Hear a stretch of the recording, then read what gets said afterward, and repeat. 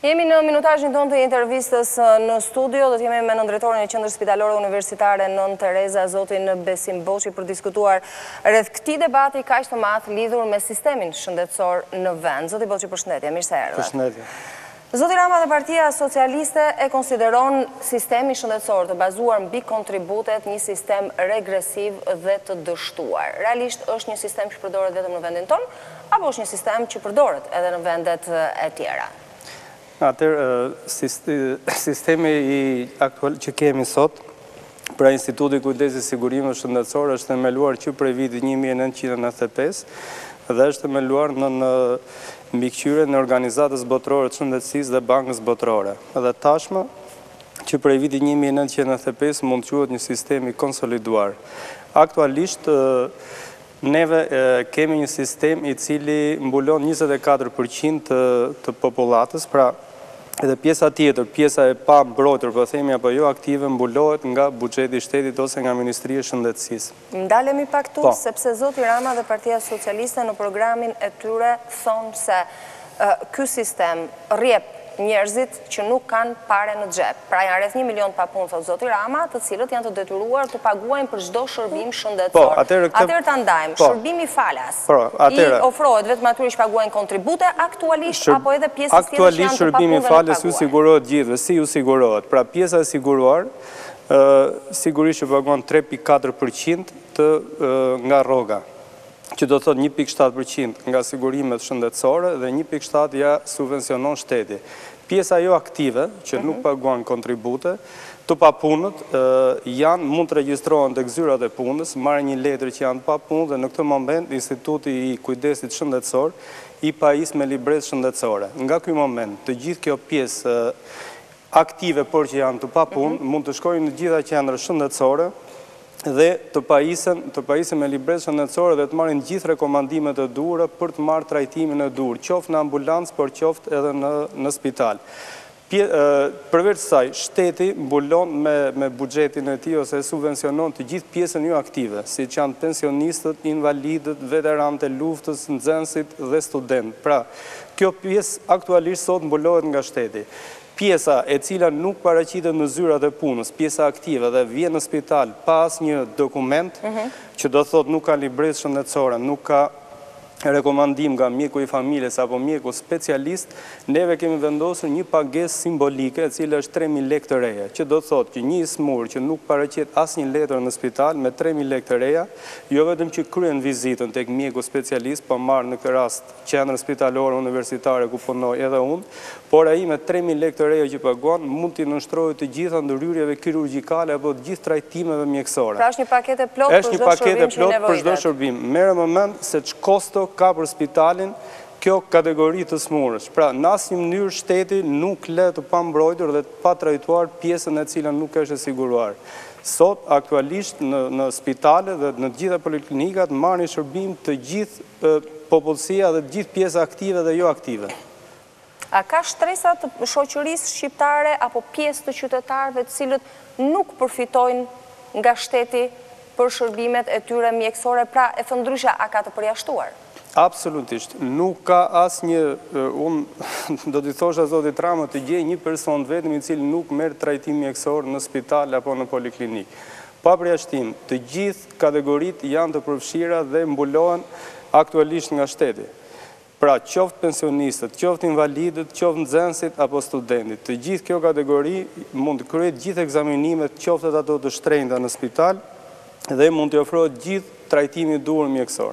Ka mbetur paksa e pakuptuar thënia e zotit Rama, por edhe më herët e zyrtarëve të tjerë të Partisë Socialiste, Do të ofrojmë shërbim shëndetësor falas për të gjithë.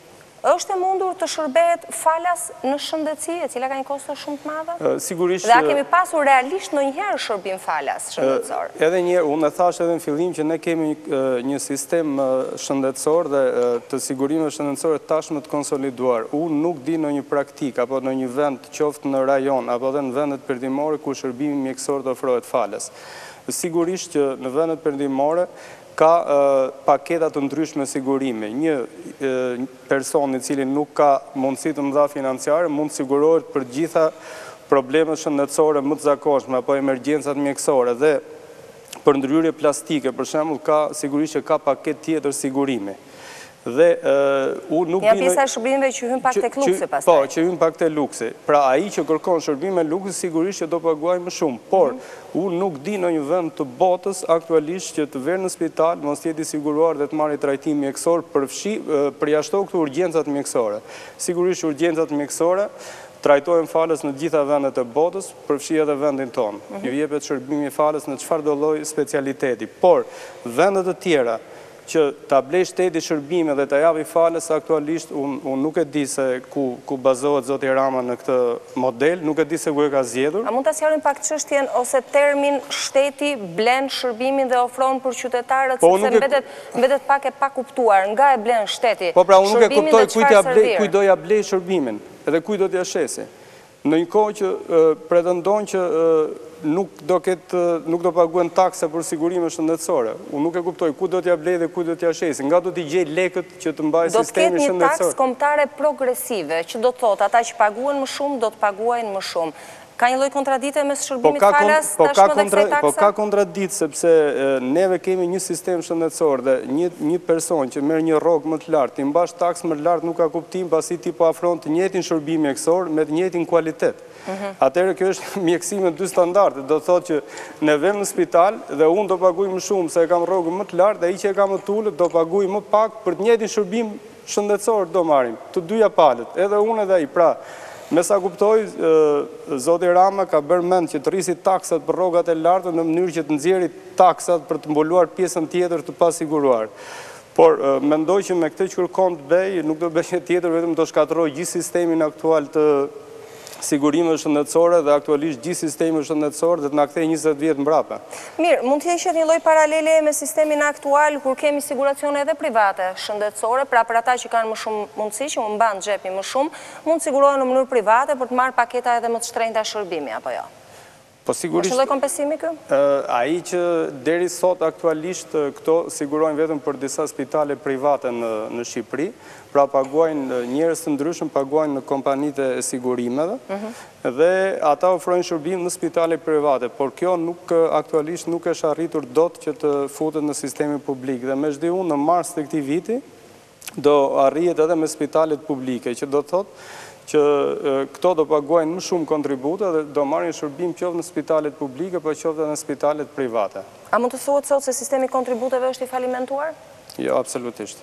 Është ky sistem kontributesh, pra sistemi i kontributeve shëndetësore, që aktualisht, Për të siguruarit ofron të gjitha ekzaminimet falas në qendra spitalore dhe trajtimet falas dhe është ky sistem që sot rimburson mbi nuk jam i saktë në shifra po mbi pesëqind e ca medikamente, mund të jetë edhe më shumë, mund të jetë edhe një mijë medikamente të cilat tregtohen nëpër rrjetin e hapur farmaceutik duke lidhur kontratë farmacia me Institutin e Sigurimeve Shëndetësore.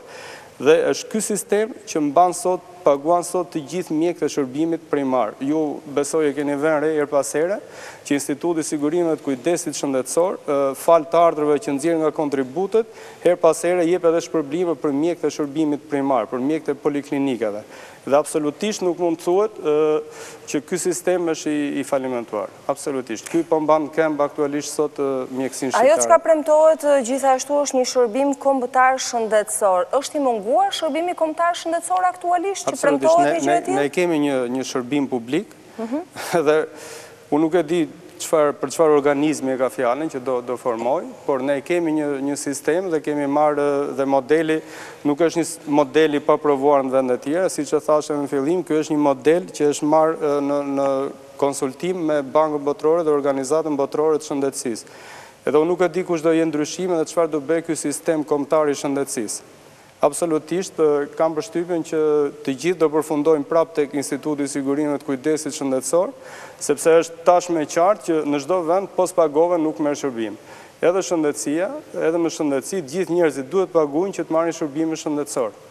Një tjetër paketë që ofrohet nga ana e Partisë Socialiste është shërbim falas ose vizita të përvitshme falas për grupmosha të caktuara, por edhe ekzaminime për rastet për parandalimin e tumoreve, sidomos tek femrat, tek gratë. Në dijeninë time, të paktën nga ç'përcjellim ne në lajme, të paktën sa i takon parandalimit të tumoreve, sidomos tek femrat, tek gratë, janë fushata të tëra që zhvillohen të paktën dy herë në vit. apo jo? Po. Konkretisht, ofrohet shërbim falas për grupmosha të caktuara ose ekzaminime falas? Ka fushata të këtij lloji? Po sigurisht që ka fushata, ju e keni parë herë pas here që jo vetëm kaq, por neve kjo kjo sigurisht është kryesore kjo që thatë ju, por ne për shembull herë pas here dalin në dalin në tek Po themi diku në qendër Tiranës dhe masin edhe sheqerin në gjak, që do të thotë pacientët që kanë rrezik të lartë për diabet. Dhe për këtë që thatë juve, për pap testin për shembull, për të parandaluar sëmundjet, ose mamografi, sigurisht që janë ekzaminime që në shërbimin onkologjik pothuaj sigurohen falas, të gjithë njerëzit mund të shkojnë, të bëjnë ekzaminime, sigurisht kundrejt rregullave të caktuara dhe nuk është e vërtetë që nuk ofrohen në spitalin tonë dhe në poliklinikat po themi. Janë shërbime që ofrohen për të gjithë qytetarët edhe falas, nuk ka absolutisht asnjë problem. Ka një pretendim se dializa është zhvillohet aktualisht dhe kryhet vetëm në dy spitale private dhe nuk ekziston në asnjë nga spitalet shtetërore, një realitet që zoti Rama thotë se do ta ndryshojë. Çfarë ndodh? Cili është realiteti? Jo, nuk është e vërtetë. Ne kemi një repart dialize në Qendrën Spitalore Universitare. Sigurisht që numri i pacientëve që bëjnë dializë është relativisht i madh dhe neve kemi lidhë kontratë me me dy spitale private, por nuk e kemi mbyllur repartin e dializës. Sigurisht që ofrojmë shërbim dialize në Qendrën Spitalore Universitare, por duke qenë se kemi një fluks shumë të madh pacientësh, I kemi kaluar i kemi kaluar një numër pacientësh te këto dy spitale dhe nuk ka asnjë abuzim, pasi është bërë llogaria se sa kosto ka një pacient për dializë dhe me të njëjtin fond dhe me të njëjtin numër pacientësh ne për lehtësi të pacientëve i kemi i kaluar tek spitalet private dhe unë nuk e kuptoj se ku qëndron këtu abuzimi, pasi i njëjti numër pacientësh, i njëjti buxhet ka kalu në spitalet private, plus repartit... Si do thotë është me të njëjtën kosto për pacientët? Është me të njëjtën kosto për pacientin. Kjo është një shërbim që ofrohet falas, nuk ka kosto falë, kosto fare për pacientin, dhe përveç repartit të dializës që funksionon në qendrën spitalore universitare.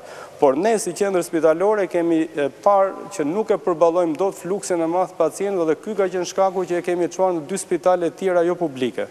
Dhe nuk mendoj që ka abuzim me fondet apo me pakësimin e numrit të pacientëve. Megjithatë, zoti Rama dhe Partia Socialiste thonë se për shërbimin e dializës në këto dy spitale private paguhet njëzet e tre herë më shumë sesa në vendet e tjera të Bashkimit Evropian. Jo, nuk është e vërtetë. Kjo është një, mund Edi ta verifikojë kur të dojë, Pasi dihet se sa është buxheti vjetor për dializën, dihet sa është numri i pacientëve, le ta verifikojnë dhe do të shohin që nuk do ketë, nuk ka abuzim absolutisht asnjë dhjetëqindarkëshe.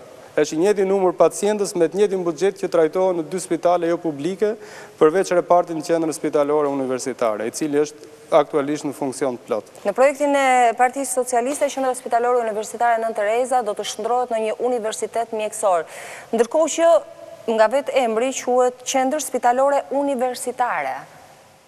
Aktualisht, Fakulteti i Mjekësisë është fakulteti më i madh në. Universitetin e Tiranës dhe para pak ditësh kryeministri e shndërroi në universitet mjekësor, premtim të cilin ai e kishte bërë dhe që aktualisht e mbajti. Aktualisht në këtë moment që po flasim po përgatitet e gjithë infrastruktura për ngritjen e universitetit mjekësor i cili aktualisht do të ketë pesë fakultete brenda. Do të ketë fakultetin e infermierisë, mjekësisë, stomatologjisë, farmacisë dhe shëndetit publik. Sigurisht që Qendra Spitalore Universitare është e vetmja në vend dhe ofron jo vetëm shërbim, nuk shërben vetëm për të ofruar shërbim për pacientët dhe kryesisht për rastet që nuk zgjidhen në rrethe të tjera, për rastet e vështira po themi, pasi është qendër terciare, por njëkohësisht është dhe një qendër edukative, pasi ju e dini tashmë që në Qendrën Spitalore Universitare në bashkëpunim me Fakultetin e Mjekësisë formohen mjekë të rinj, pra mbarojnë mjekët për degën Mjekësi e Përgjithshme, Farmaci, Stomatologji, Shëndet Publik dhe Infermieri, dhe përveç kësaj formohen dhe të gjithë specialistët e ardhshëm në të gjitha specialitetet e mjekësisë. Prandaj dhe quhet Qendër Spitalore Universitare dhe tashmë e përfshirë brenda Universitetit Mjekësor, e cila është është përuruar këto ditë, do të ketë autonomi në vete dhe një buxhet në vete, gjë që do t'i japi më shumë zhvillim jo vetëm Universitetit Mjekësisë, por dhe Qendrës Spitalore Universitare. Zoti Boçi ishte kënaqësi që ju kisha në studio. Faleminderit për gjitha shpjegimet. Faleminderit.